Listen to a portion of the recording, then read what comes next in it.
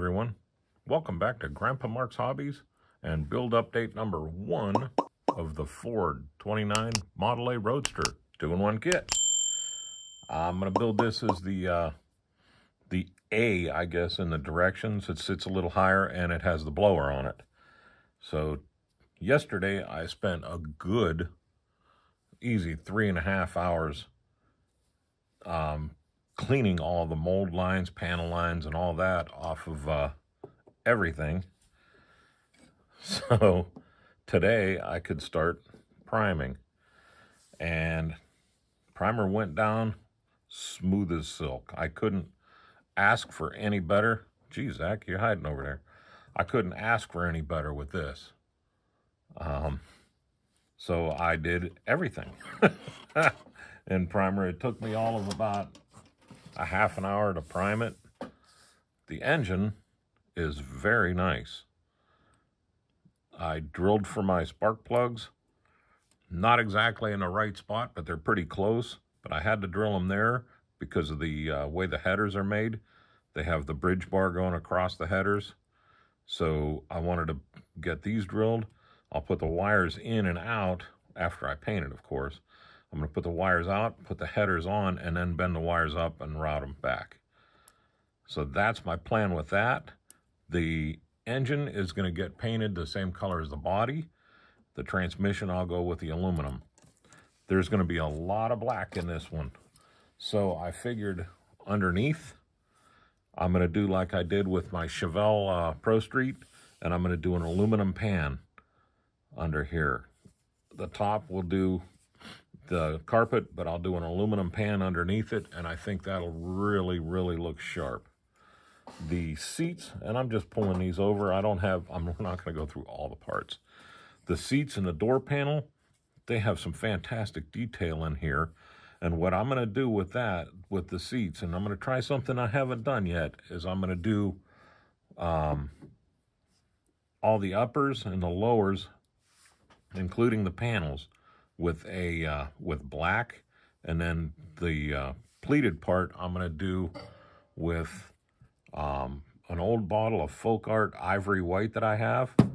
I made sure it shook up. I ran it with my um, Badger uh, paint mixer, and it mixed up really well. And it, it's got to be 15, maybe close to 20 years old. But it was never, see I just broke the seal on it yesterday and uh, I think it'll work out good.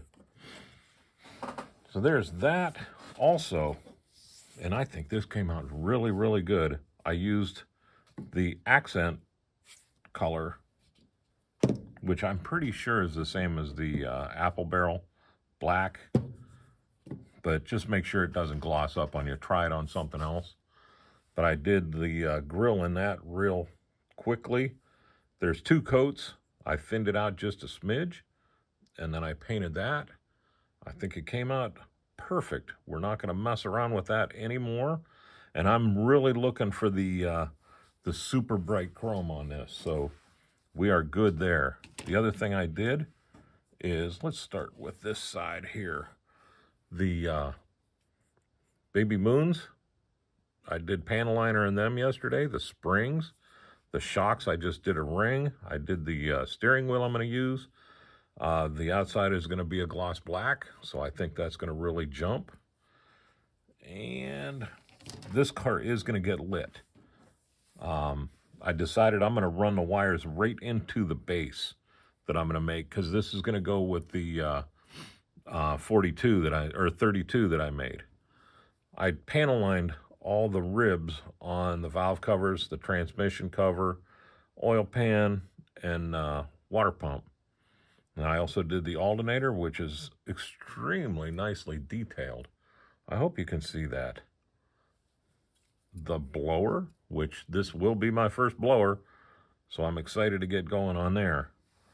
Um, that's about it with the car. If you want to stick around, I've had people ask me if I can show you my visor.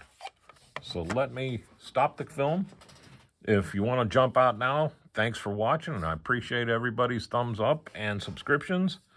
If you want to stick around for just a second, I'm going to take the camera out and get a better view of this so I can show you. Okay, this is my visor. Um, it's on the heavy side. I mean, it, it is it is weighted. I had to tighten these things up pretty good. When you lift it up, it wants to slowly sink down. But I love this thing, and here's the reason why.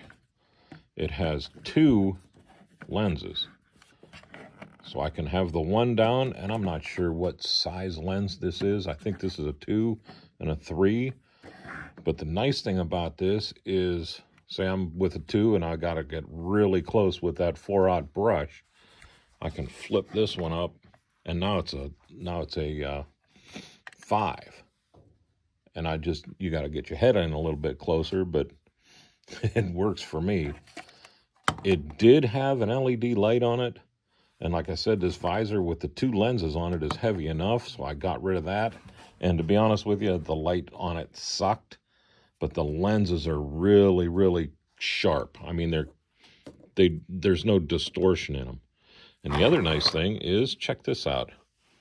It came with a pack of um, five. Well, there was one on it, and then this holds four.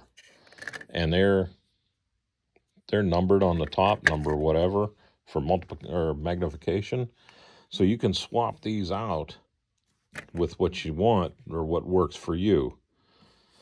And uh, then in the back, it just has a quick tighten knob, just like every other one. Um, I love this thing. I really do.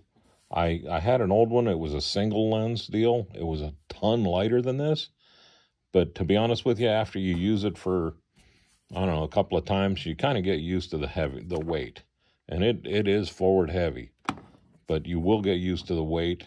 And I think the weight or the, the benefit of the double lenses, which I do use quite a bit, outweighs the weight of the visor. Um, not sure what this is from, but I know I can find the link on Amazon, and I will drop that down in the description. So there's my visor. I hope that helps everybody that's been looking for one. Uh, I'll let y'all go now. I'm Mark, and this is Grandpa Mark's Hobbies. And y'all have a great day.